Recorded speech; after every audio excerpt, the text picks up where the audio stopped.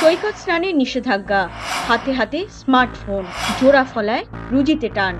আধার নামছে দীঘার ফটোগ্রাফারদের। জোড়া সমস্যায় বিদ্ধ দীঘার ফটোগ্রাফাররা।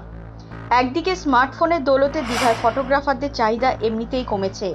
তার উপর এবার অশনির সংকেত। ঘূর্ণিঝড় অশনির কারণে দীঘার সমুদ্রে স্নান করতে নামায় নিষেধাজ্ঞা জারি করেছে প্রশাসন। ফলে সমস্যায় পড়েছেন দীঘা সৈকতের ফটোগ্রাফাররা। রাজ্যের অন্যতম পর্যটন কেন্দ্র দীঘা। তাজপুর, মন্দারমণিতে প্রায় বারোশো জন ফটোগ্রাফার রয়েছেন। পর্যটকদের ছবি তোলাই তাদের পেশা। কিন্তু স্মার্টফোন আসার পর উপার্জন অনেকটাই কমে গিয়েছে তাদের। কোনো রকমে তাদের সংসার চলছিল।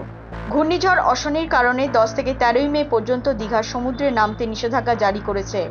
ফলে পর্যটকদের ভিড় থাকলেও সমুদ্র স্নান বন্ধ থাকায় ছবি তোলা বন্ধ। ঘূর্ণিঝড়ের যে সংকেত, তার জন্য এই যে সমুদ্রে নামতে দেওয়া হচ্ছে না, যার ফলে ছবি তুলতে সমস্যা হচ্ছে। কি সমস্যা?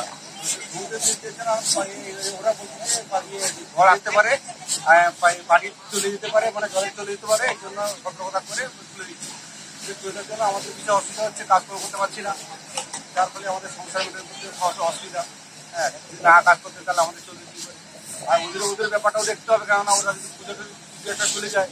তাহলে পুলিশ আসা বন্ধ হয়ে যাবে। যেন ওরা ওদের উপর থেকে তো একটা ইয়ে করে সতর্কতা করে সেফটি দেবে এই জন্যই ওরা তুলে দিচ্ছে। আমরা সেভাবে কিছু বলতে পারছি না। বলছি কতজন মানে এই ধরনের ছবি তোলার কাজের সঙ্গে যুক্ত? এই দীঘা তাজপুর মন্দারমণিতে? মিনিমাম তো এক হাজারের বেশি হবে। আচ্ছা। বলছি বর্তমান সময়ে ডিজিটাল মোবাইল আসার পর আপনাদের ছবি তোলার কি কি অনেকটা সমস্যা হচ্ছে বা হচ্ছে সেই রকম ডিজিটাল ডিজিটালে আসতে আমাদের আমাদের ক্যামেরা হচ্ছে ভালো সুবিধা একটা ক্ষেত্রে ক্যামেরাতে ক্যামেরাতে যদি আপনার এই মোবাইল করেছে ওই জন্য আমাদের ওষুধপত্র অসুবিধা। যেগুলো আপনার আমরা জন্য পাটে অনেক বছর ছবি পারতাম এখন কম হচ্ছে। কারণ ওরা নিজেরাই নিজেরা ছবি তুলতে চলে যাচ্ছে। যদি না হতো তাহলে আমাদের ব্যবসা হবে? আচ্ছা। মানে মোবাইল হওয়ার ফলে ছবির সংখ্যাটা অনেক কম হচ্ছে আয় কম হচ্ছে।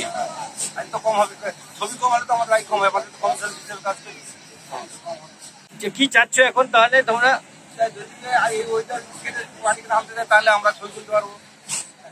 বাড়ির নামলে তো ছবি তুলবে না হলে বসে থাকলে তো আর ছবি তুলবে না উপরে।